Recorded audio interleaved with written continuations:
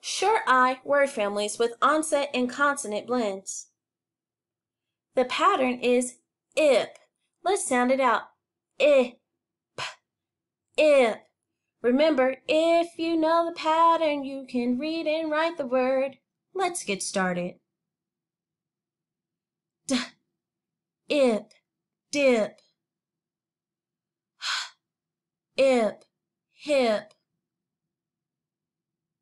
Ip, lip. N, ip, nip. Er, ip, rip.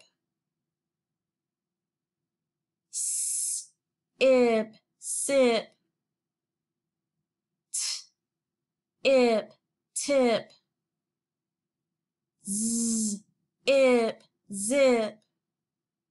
Here are some consonant blends. Sh, ip, ship. Tr, ip, trip.